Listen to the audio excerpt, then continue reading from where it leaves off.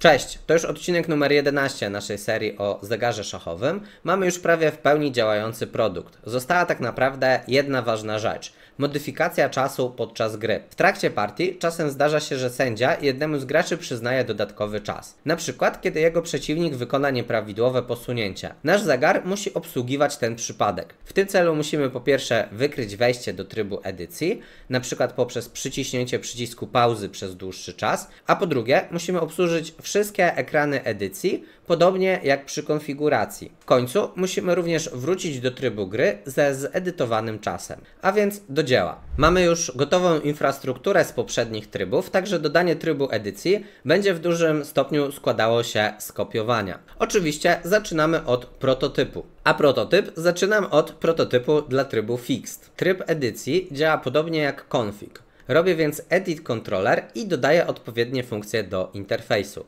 Jak widzicie dla trybu Fix utworzyłem Edit Fixed. Na razie wykorzystuję tutaj strukturę config controller. I jak widzicie większość funkcji po prostu skopiowałem z config controllera. Kolejnym problemem, jaki musimy rozwiązać, to przekazywanie danych do trybu gry. Config przekazywał dane za pomocą buildera. Postanowiłem więc zrobić Edit Builder, który działa na tej samej zasadzie. Możliwe, że dałoby radę użyć tego samego config buildera, ale tak jak mówiłem we wcześniejszym odcinku, nie usuwamy zawsze duplikacji na siłę, tylko tam, gdzie to na pewno ma sens. Z jednej strony przy prototypie kopiujemy i wtedy właśnie przypadkowo może zajść taka sytuacja, że mamy dwie takie same struktury, no ale docelowo chcielibyśmy je nazwać inaczej i później świadomie zadecydować, czy to faktycznie jest ten sam element, czy może są to dwa różne elementy. W moim wypadku stwierdziłem, że config controller zawiera wszystkie dokładnie te same eventy, które tak naprawdę będę potrzebować również w edicie.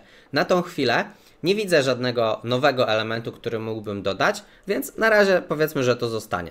Natomiast dla buildera wydaje mi się, że już będą różnice ponieważ tutaj tylko modyfikujemy czas i ruchy, natomiast nie ustawiamy wszystkiego. Na przykład taki inkrement, on był ustawiony na początku podczas konfiguracji trybu i raczej nie będziemy mogli w trakcie partii zmienić inkrementu na inny. Tak więc builder na 100% będzie czymś innym, więc od razu utworzyłem drugą strukturę. Fixed Edit Buildera dodałem w to samo miejsce, gdzie był Mode Builder, czyli w pliku fixed.c. I tutaj mam funkcję Edit Time, która dodaje czas, i mam funkcję Edit Moves, która dla e, trybu Fixed będzie pusta. Następnie rozszerzam mojego mapera. Dodaję dwa kolejne pola do trybu Edit dla buildera i dla kontrolera. I zobaczcie, że tutaj już się przygotowuję, że w tym momencie akurat config controller i edit controller są takie same, ale ja staram się tutaj tych nazw używać innych. Tutaj jeszcze brakuje gwiazdki. Wydaje mi się, że później to poprawiłem, po prostu gdzieś wyskoczył błąd kompilacji. Następnie rozszerzam mapera o nowe elementy. Na razie tylko dla trybu fixed. Więc Fixed Custom ma te nowe elementy, pozostałe tryby mają nule, a z trybów predefiniowanych rozszerzam to dla wszystkich trybów Fixed, natomiast wszystkie tryby pozostałe również tutaj mają nula. Niestety, po tych zmianach nie mogę jeszcze sprawdzić mojego nowego prototypu w akcji. Brakuje mi dwóch rzeczy. Po pierwsze, stanu edycji w głównej maszynie stanu zegara, a po drugie, triggera przechodzącego w stan edycji, czyli w naszym wypadku wykrycia długiego wciśnięcia przycisku pauzy. I teraz możemy podejść do wykrywania eventu na dwa sposoby. Albo przekazujemy tylko event wciśnięcia pauzy i moduł gry sam musi sprawdzić, że ta pauza była wciśnięta przez długi czas czy przez krótki i odpowiednio to obsłużyć. Możemy również wykrywać oba eventy w module Events i wysłać gotową flagę do wszystkich modułów. Moduły, które nie używają tej flagi, po prostu ją zignorują. Już teraz najczęściej nie wszystkie stany używają wszystkich eventów, i ignorują je, więc będą musiały po prostu zignorować kolejny event. Ja wybrałem opcję z obsługą w module Events i dodatkową flagą. Jak widzicie, dodałem tutaj nowy Event ID Edit oraz dodatkową definicję dla tego modułu Edit. Jeżeli chodzi o implementację, to robię prostą implementację z counterem i teraz, kiedy przycisk już nie jest dłużej wciskany, to sprawdzam, jak długo był przyciśnięty. Jeżeli ta długość przekracza jakiś próg, to wtedy był to długi event, a jeżeli jest krótsza od tego progu, wtedy był to krótki event. Dobra, mam już event, nie mogę tego jeszcze sprawdzić na sprzęcie, ponieważ brakuje mi edycji w maszynie stanów. Pora więc wprowadzić również tą modyfikację. Tak więc w maszynie stanów w trybie Game muszę dodać obsługę eventu Edit, przy czym ten event edit występuje tylko wtedy, kiedy wcześniej była wciśnięta pauza.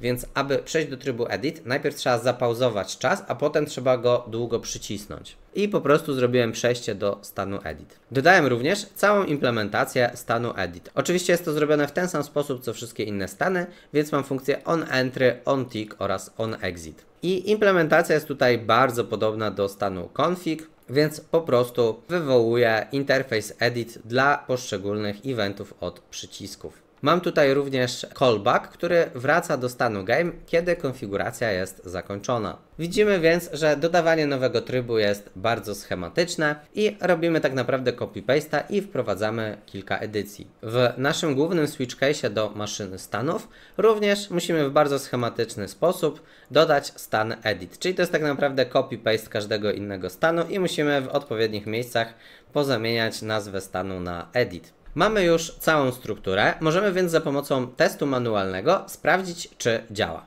Robię więc build, wgrywam projekt na docelowy hardware, uruchamiam.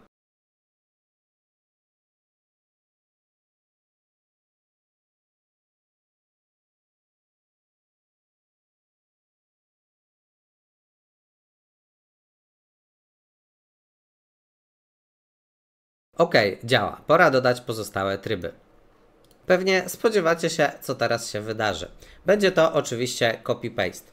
Więc dla trybu bonus robimy plik edit bonus, dodajemy też nowy edit builder, modyfikujemy naszego mapera mode, jak widzicie tutaj doszło bonus edit. Następnie powtarzamy to samo dla pozostałych dwóch trybów. Tak więc na przykład w bonus control mamy edit bonus control. Dodajemy też odpowiednie pola w maperach i sprawdzamy czy działa. Też potrzebne było uzupełnienie moków w unit testach, ponieważ doszły do mapera nowe elementy. Wcześniej unit testy nie znały tych definicji, więc musimy uzupełnić moki, żeby w dalszym ciągu przechodziła kompilacja. No to kolejny krok również łatwo przewidzieć. Będą to unit testy wszystkich opcji dla trybu edit. I tutaj jeszcze jedna mała uwaga. Zostawiłem sobie Fixed Control w trybie Edit, nie zrobiłem go jeszcze tutaj, ponieważ zrobię go na koniec, jak już będą unit testy, żeby pokazać właśnie, e, jak unit testy mogą nam pomóc w robieniu tego trybu.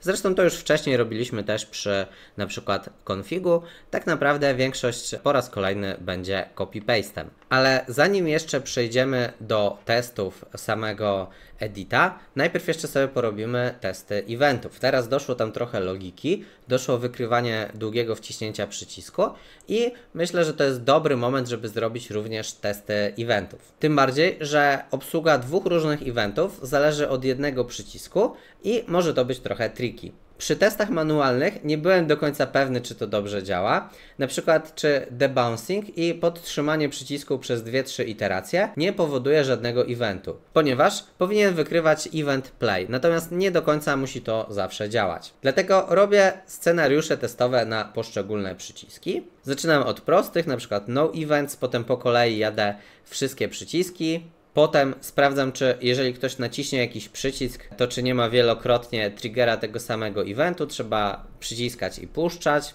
Oczywiście można też dodać jakiś taki event, że jak trzymamy cały czas przycisk, to na przykład 4 razy na sekundę nam dodaje. Bardzo często w panelach z przyciskami coś takiego jest zaimplementowane. Ale na razie my tego nie robimy. Oczywiście jeżeli później będziemy chcieli coś takiego zmienić, to unit testy po raz kolejny tutaj nam się bardzo przydadzą, bo unit testy są wręcz stworzone do robienia takich scenariuszy. Na przykład trzymamy cały czas przycisk, i powiedzmy, że mamy 10 iteracji co 100 milisekund i w trakcie tego ma być na przykład tam 4 czy 5 triggerów przycisków. Bardzo fajnie możemy to sobie zrobić za pomocą unit testów. Natomiast moje unit testy wykryły pewne problemy przy obsłudze wciśnięcia play krótko i długo. Wynikały one z braku przypisania stanu last events, czyli flag z poprzedniej iteracji. Można to zobaczyć tutaj. Dodałem events init, gdzie przepisuję poprzedni stan eventów. właśnie po to, żeby nie triggerować wielu eventów w kolejnych iteracjach. Wcześniej mi to do końca dobrze nie działało, dopiero dodanie tego last events spowodowało, że eventy działają stabilnie. Więc unit testy po raz kolejny się przydały właśnie przy okazji takich przycisków, gdzie mam jakiś debouncing, gdzie coś może nie zatrybić. Widzieliście u mnie, jak te przyciski wyglądają. Mam to spięte na takim pająku. Ja nie zawsze wiem, czy dobrze wcisnąłem ten przycisk, czy coś nie wyleciało na przykład z tego breadboarda czy wszystkie przyciski dobrze stykają, no to nie jest jakieś wspaniałe środowisko, żeby mieć stuprocentową pewność, że hardware działa dobrze. Oczywiście jakbym miał docelową płytkę, gdzie wszystko już by było polutowane, to też trochę inny komfort pracy bym miał, ale w dalszym ciągu lepiej to robić unit testami automatycznie niż ręcznie na hardware'ze. Testy eventów spełniły swoją rolę, teraz robię więc testy trybu edit. Trzymam się więc znanego dobrze schematu. Kopiuję template, podmieniam pliki i robię unit testy iteracyjnie. Zaczynam od trybu fixed. Wszystko wygląda bardzo podobnie jak testy configu. Po raz kolejny wykorzystuję tutaj Fake Function Framework. Testuję dodawanie i odejmowanie każdej cyfry dokładnie tak samo jak w configu. I podobnie jak w configu, poszczególne tryby mają nieraz dodatkowe ekrany. Akurat dla trybu fixed mamy jeden podstawowy ekran, display time, Natomiast wiadomo, dla trybów z inkrementacją i z kontrolą będą dodatkowe ekrany. Więc w pierwszym komicie zrobiłem testy dla trybu fixed. Możemy sobie te testy zbudować. Możemy sobie te testy uruchomić. Widzicie, tutaj jest 16 testów dla edit fixed. W kolejnych krokach dodaję testy dla edit bonus i edit bonus control. Oczywiście tych testów dla każdej z tych grup jest coraz więcej. Jak sobie wszystko zbuduję i uruchomię, to teraz zobaczcie, że już są 52 testy w tej grupie edit.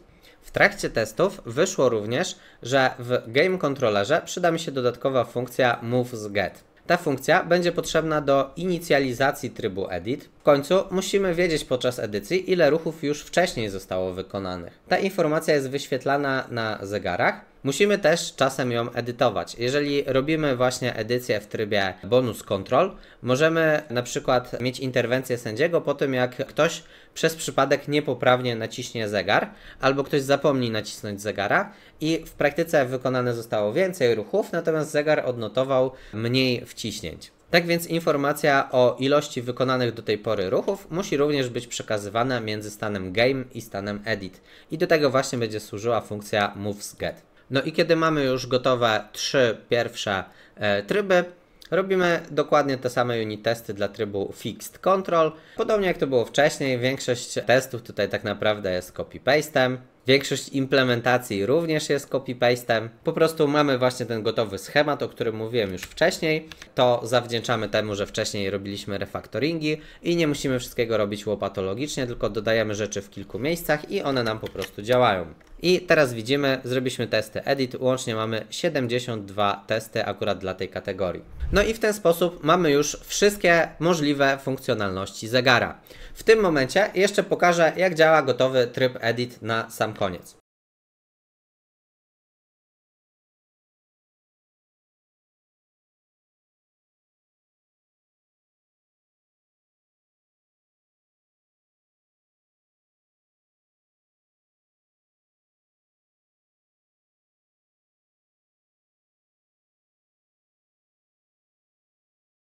Przed definitywnym zakończeniem projektu będę chciał jeszcze zrobić trochę porządków. Być może uda mi się jeszcze zrefaktorować parę rzeczy zostawionych na później.